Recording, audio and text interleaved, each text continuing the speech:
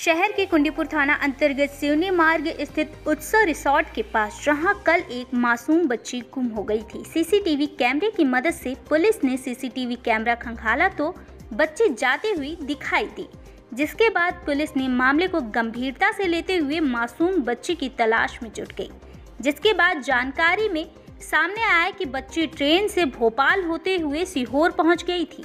जो कुबेश्वर धाम पहुँच गई। सूचना मिलते ही स्थानीय पुलिस छिंदवाड़ा से टीम को बच्ची लाने के लिए रवाना कर दिया गया।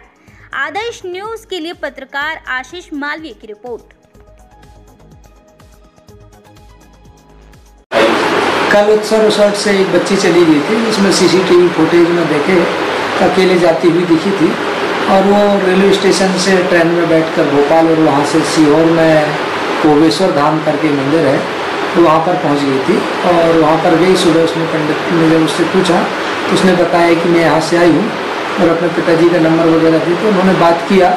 इसके पश्चात हमने उस लड़की को वहाँ स्थानीय थाना जो है, वहाँ पर भेज दिए और हमारी टीम रवाना हो गई है।